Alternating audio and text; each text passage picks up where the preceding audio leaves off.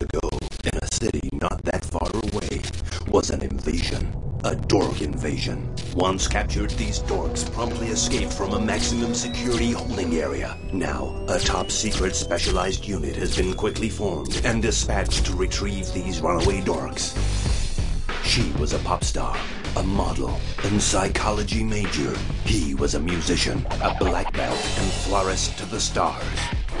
Alone, they are useless. Together, they are even worse. But nonetheless, they are the Dork Hunters. With just a little help from their small crack team of agents and recruits, they must track and capture dorks to be rewarded with points.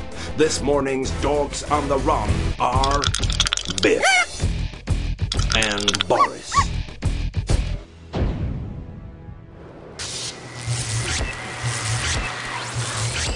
What's going on, Jamie? Two dorks on the run. I think I tracked them down up here, and one of them is hiding up that tree.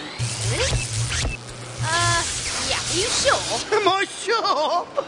No, not really. Jamie, you cannot just go shooting, you know, your phaser blast right up a tree willy-nilly, you know. Yeah, Jay, I can confirm these two dorks have been previously captured. And? Well, as you know, when you've got two dorks trapped together in one DCM unit, the molecules merge and mutate. And what? And Jamie didn't check them into the containment area correctly. Good job, Jamie. Thanks.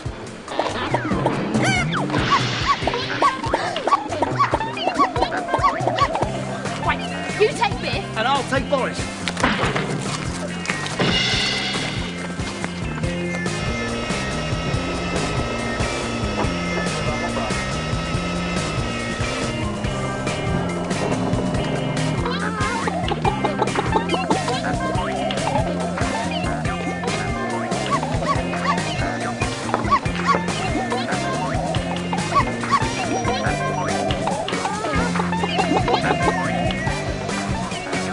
Charging up extra boosters for you, Jamie. Any further information, lads? I can't actually confirm we've burnt off 27 calories. Happy days. Remember, Anna, you must be front facing and have a clear shot. Yeah, I know, I know. Back in 1066, William the Conqueror defeated Harold and his men to reign over all of England. Yeah, when I said useful information, I meant stuff like are there any shortcuts? Should I take a different route? Where can I cut them off? Where do I roll out the trap? Oh, all right, yeah, sure, James. Uh, we're on it for you, fella. Sorry about that. Do you know what, girls? Now would be a really good time to find me a shortcut, yeah? Coming right up, Anna.